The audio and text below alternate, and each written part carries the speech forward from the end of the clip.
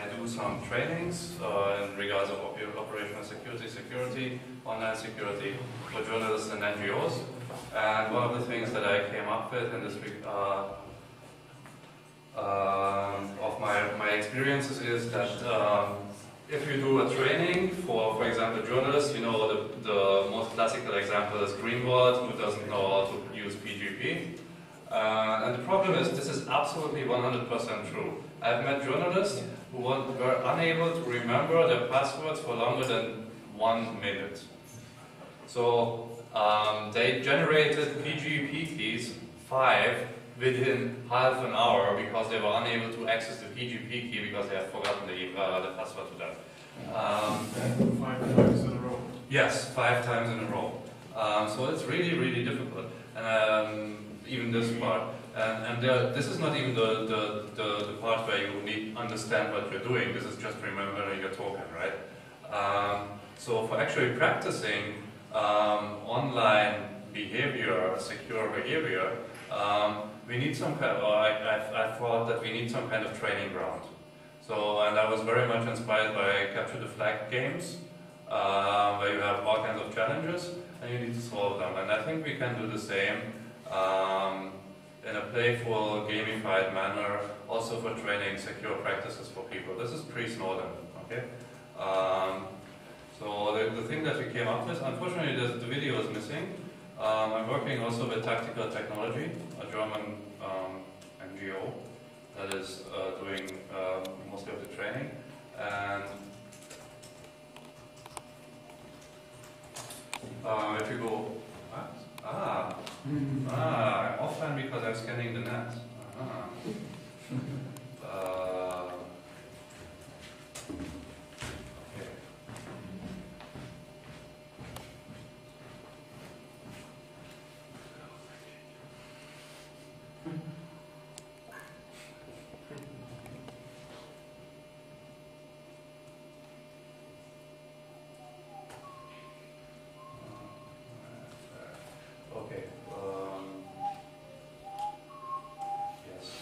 Thank you. So, uh, now that I'm online, wow, the network really is cool here at this kind of event. Usually it does suck about that. Um, so, um, this is Ono. It's a robot that is from a very cute game. This is from Tactical Technology Collective. And basically the story is he has been a robot that has been built for doing surveillance and oppression on, on humanity, but he's defective and has been discarded to the garbage dump.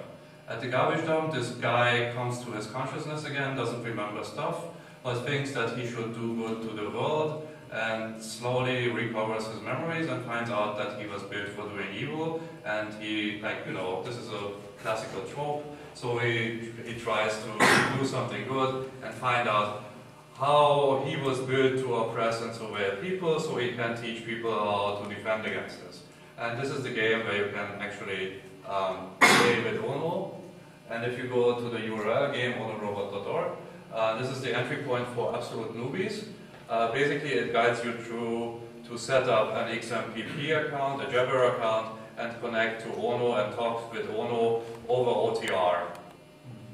Uh, and this is the very first level. Uh, you go there, you set up an account, and he sends you to his own website where you make up a shared secret together, and then with the shared secret you do a socialist millionaire uh, protocol in OTR, and this is the very first lesson that you get in this game.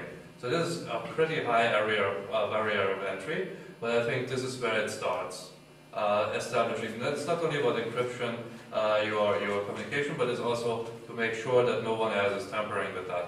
And so using OTR without um, um, setting up a trust with whom you are doesn't make much uh, sense, especially since uh, everything is fakeable in OTR.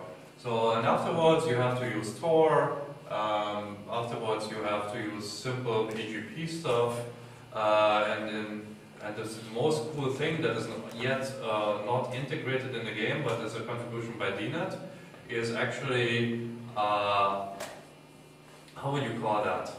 A transparent SSL proxy that uh, proxies stuff based on uh, the SS SNI hostname. So You are listening on a port, uh, SSL port, and depending on what the SNI host name is, the port gets forwarded to a different uh, local port basically. So, um, and this is all before anything else, uh, anything happens in, in terms of SSL handshaking. And this allows us, in the third level of the game, to simulate an HTTPS man-in-the-middle attack. Because each player is assigned a unique domain that he has to visit. On the first visit, it gets the, the player gets a normal uh, non-man-in-the-middle uh, certificate, and in the second visit, uh, after he completed some stuff on this site, um, whenever you come back, there will be a man-in-the-middle intercept uh, because of this port forwarding and identification of the um, of the uh, distinguished host name. Uh, and so this this will be even a training ground for first of all detecting a man-in-the-middle attack because even that is not um, people just click it away usually. Yeah? Mhm. So and in this case you don't click it away, but you have to react to that. And, and the other thing that is um, about interesting about this game, since the players in this game are sensible people, like sensible in terms of their security, um, they might be targets of some some adversaries. This is exactly the kind of uh, project where you don't want to have a user database, where you don't want to track your users, because if this host gets compromised, it will might uh, compromise a lot of players that you actually want to protect.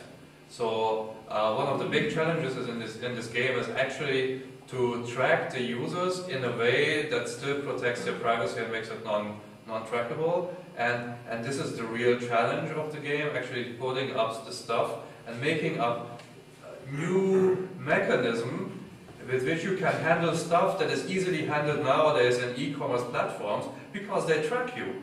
But actually coming up with new methods of of still being able to do things without tracking people is, I think, something extremely exciting and something that should, like, you know, um, maybe be used also in other uh, solutions, um, also e-commerce solutions where that should be protecting your privacy and not exploiting that.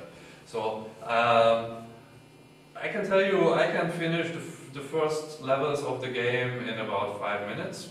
A total noob has a lot of problems, has to install PGP, etc. So um, if you have time and want to try it out, I'm very interested in how long it takes for you to go through all the levels. Uh, not everything is completely um, um, immediately obvious, but it's a bit of a CTF, right? So you need to do some thinking.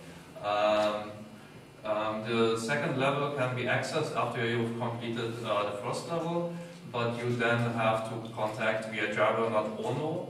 You, you get a Jabber address for Ono, right? Uh, the second level is uh, available for Ono-dev uh, at the same host, Jabber CCCDA.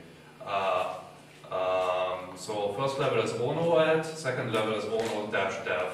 And if anyone completes it and gives me a timing, uh, without embellishing your own uh, uh, success, I'm very interested in how long it takes for people attending this, uh, this event, uh, how long it takes for them.